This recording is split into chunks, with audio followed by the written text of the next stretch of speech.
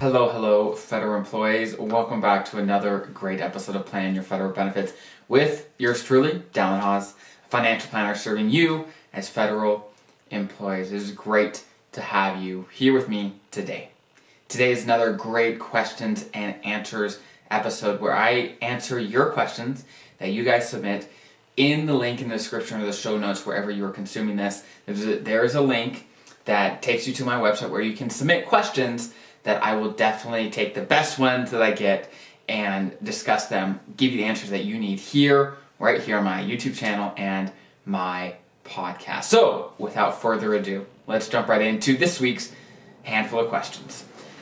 This question says, What happens if, hey, alert, if you're a special provisions employees, you're gonna like this one, right? You're gonna like this one a lot because I know you guys always want more content about your stuff. Well, this is touching you. Okay.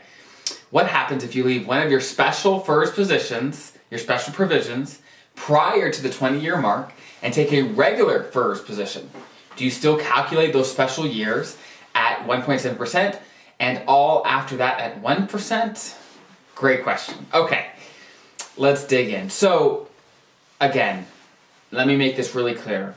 The rules, the retirement rules for special provisions FERS, which is law enforcement, air traffic controllers, firefighters, they're slightly different than traditional FERS. So if you're traditional FERS, this isn't going to apply perfectly, but it's good to know what's out there. So when you're online and you're reading information, you can recognize, okay, this is that, this is what I have, so that you know for you, you can keep them all straight. So let's dig, it, dig, dig in a little bit. As a special provision, so air traffic controller, firefighter, um, that those under those special rules, you have to have at least 20 years of service to get a increased multiplier for your pension. And, and, and if you do, your pension can be significantly higher. I have other videos that dig into exactly how that works, so definitely check those out if you are interested. Now, what this gentleman is saying, hey, if I don't make it quite to 20 years under the special provisions, can I still get the increased pension for the years that I did spend under those special, special provisions? And then every year that I, that I spend after that, um, will be at the lower amount. That's basically what he's asking. And unfortunately, for this one, it doesn't lean in your favor, right? For, to be under the special provisions retirement rules, you have to have at least 20 years under those rules as a special provisions employees. Once you hit the 20 years, you are eligible for the special provisions retirement. Okay, and at that point, if you want to go take a different um, position, whatever, you're welcome to. It won't affect um, your ability to get that type of retirement. That being said, before that point, before 20 years of special provisions service, then you have to have at least 20 to get that increased pension. Now, there's one, there, there there's a few exceptions, but they're very, very nuanced and they're very, very um, uncommon. okay, um, and so I'm not going to discuss them here, but as a general rule, um, you have to have at least 20 years, as a general rule. Um, and so definitely if this applies to you, dig in deeper. Like I said, there this is nuanced and there's lots of other things. As a general rule, you have to have at least 20 years to get that special provisions pension bump, which is significant, right? So if this does apply to you, you definitely want to dig in. Um, dig into it. I, am not going to dig into it too deep here because it would be a 30 minute rabbit hole. okay, so we're going to keep it simple, um, but um, it's definitely something to think about. So this is a great question. But we're going to jump on to question number two. Question number two is Hey, can you please discuss the pros and cons of rolling over the TSP into an IRA, then to a Roth IRA? in order to minimize the tax burden when you withdraw it in retirement or any other tax strategies. I'm trying to decide if that's a good strategy or not since an IRA would cost me more to have it managed along with other potential potential problems. Okay. These are great questions. You guys have some great questions by the way about retirement, about your benefits, so keep them coming and I'm happy to answer them. So, um, I've made a number of videos on TSP versus IRA, some of the pros and cons. Um, and so, if you want to dig deeper, um, there's of course full videos on it but I'll give you the um, the main points. Okay, so the TSP is a great tool. It's a great tool, um, and IRAs are great tools too. just a matter of finding okay what are their advantages and disadvantages? Because they're different right? They're different. There's no you know better or worse. It's just different and it depends what you're trying to do. A huge advantage of the tsp is its simplicity. It's simple. You're often familiar with it by the time you retire right? So in retirement it's often pretty nice to just keep your money in the tsp if you're familiar with the funds how to invest it and sort of things like that it, it's comfortable and so that can be a great reason to keep it where it's at um, also, the fees in the investments are, are very low. Um, can you find funds or investments on the private side, or let's say in an IRA that are comparable? Yeah, you can.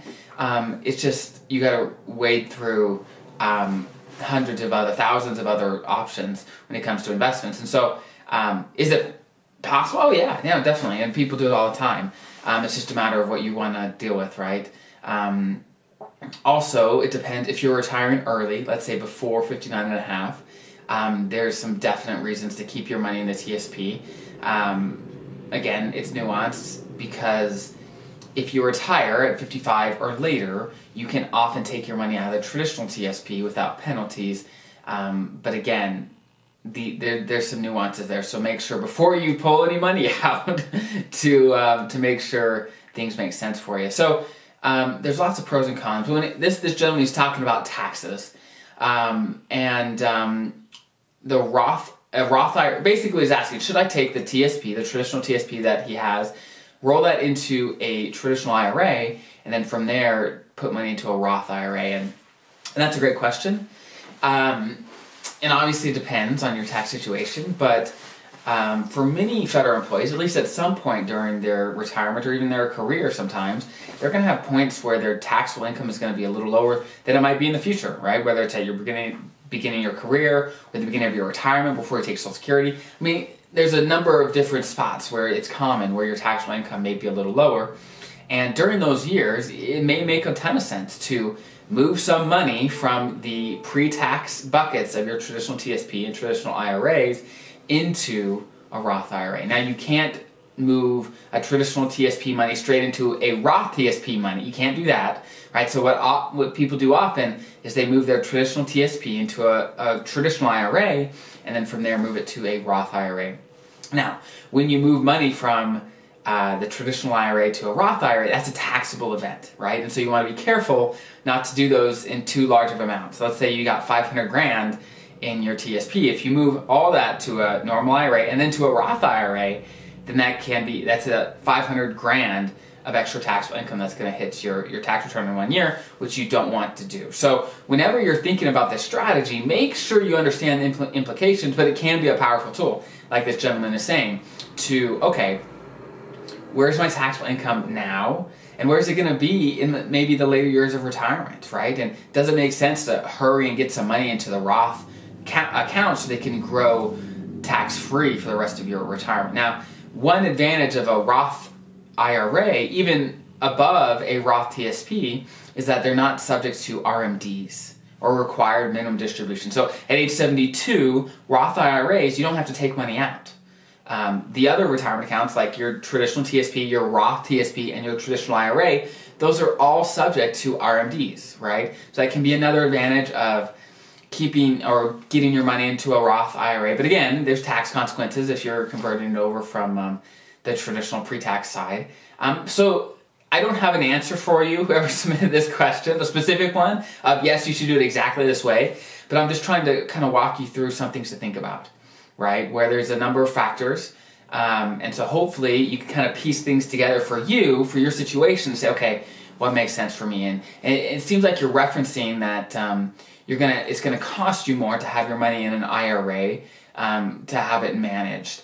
Um, that's a good question. If you're working with a financial advisor and if they charge a management fee, yeah, it, it will cost more, right? More than what a the TSP will cost. And and my thoughts there, I mean, full disclosure, I'm a financial advisor and I often help manage people's IRAs. So maybe I'm the most biased person or unbiased, however you want to look at it. Um, I think it depends what um, the advisor is doing for you, if it makes it worth it or not.